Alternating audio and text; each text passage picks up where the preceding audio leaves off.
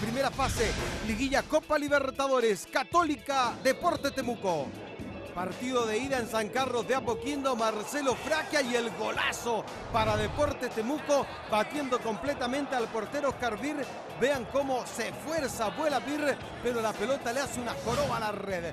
1 a 0, Deportes Temuco se va con todo en busca del empate el equipo de Católica.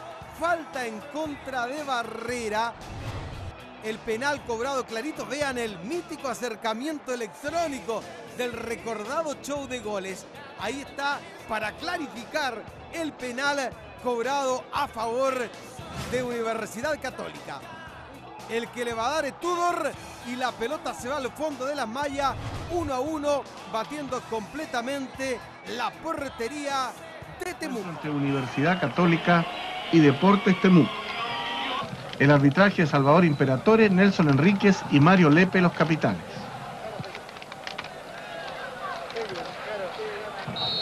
Gana el sorteo Mario Lepe.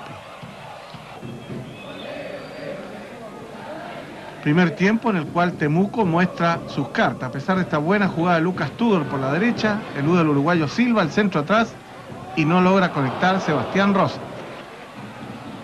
Barrera, Jorge Vázquez, piden mano de Enríquez, Barrera después no acierta con la pelota, repetimos ahí, la pelota sí dio en la mano, pero no hubo intención del jugador de Temuco. Miguel Latín por la derecha, gran acción personal y exige a Oscar Vir. Oscar Lepe con la pelota. Mario Lepe, su hermano, le comete infracción, minuto 21 de la primera fracción, y mira la, mire las consecuencias. Marcelo Fraquia y la pone lejos del alcance de Oscar Virt. Un golazo. Lo vi muy lindo, me tenía mucha fe. Le dije a mis compañeros que lo dejaran, que lo iba a patear yo y bueno, y en definitiva también tuve la suerte de, de convertirlo. La repetición del excelente remate de Fraquia. ¿Por qué me sorprendió? Porque él fue muy... porque le pegó muy bien y porque de pronto hay situaciones que se tornan un poco inalcanzables, a pesar de que siempre hay algo que hacer, siempre hay algo que hacer. Lamentablemente en esa oportunidad no puedo hacer nada. Y esto comienza a desesperar a la Universidad Católica. Ahí llega Sebastián Rosenthal frente a Nelson Tapia, pero Temuco va creciendo a medida que pasan los minutos. Sebastián Rosenthal. Se juega la personal y le comete infracción Miguel Latín, muy cerca Imperatore, se da cuenta que está justo antes del área. Ahí está. Fuera del área.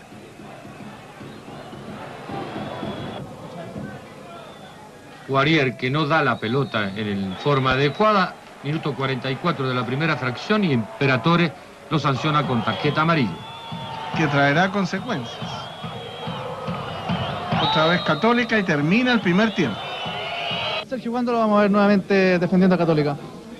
Bueno, espero que sea el próximo partido, ¿no? Eh, yo hablé con el Nacho hoy y me dijo que posiblemente para el sábado ya esté.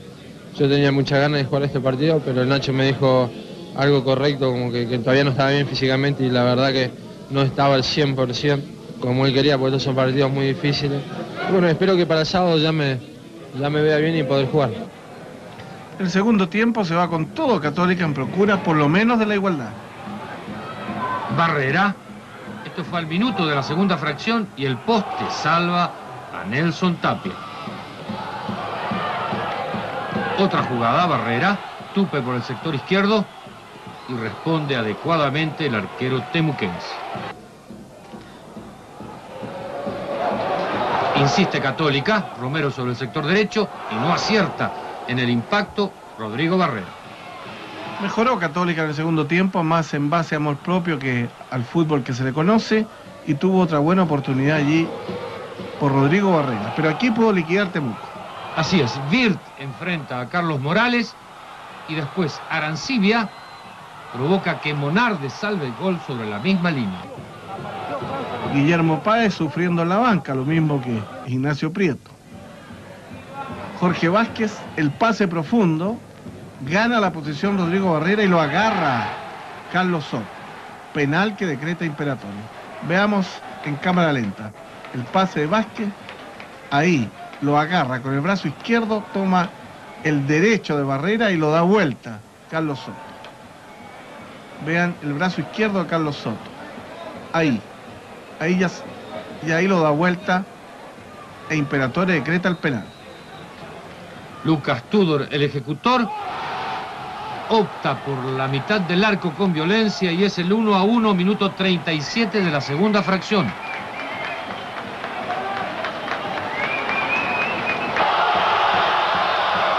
Sigue Católica buscando. La diferencia, Jorge Pindiga Muñoz ya estaba en el campo. Y se juntan los dos entrenadores, Guillermo Páez e Ignacio Prieto.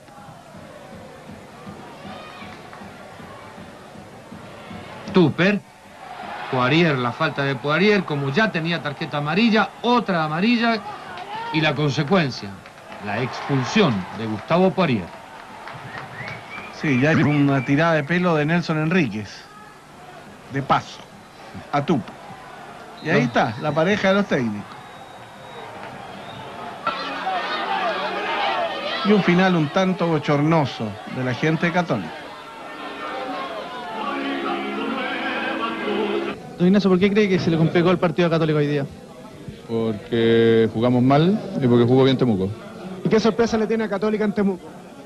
No, yo, yo pienso que esto eh, son dos tiempos.